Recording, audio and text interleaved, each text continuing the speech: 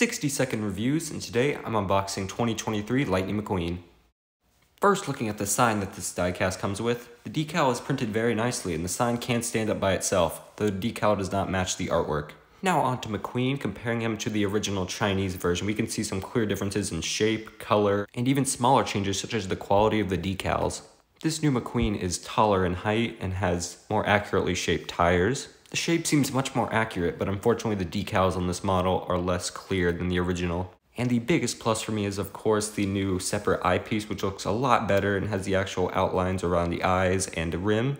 Comparing them to my cast of Thailand characters, we can see a clear difference between the Chinese and Thailand versions, and I think the new Thailand version does stick in a lot better with the new Thailand cars I have. I would definitely buy this diecast if I were you, as it is a very nice McQueen, and expect to see this guy in a couple projects coming up soon.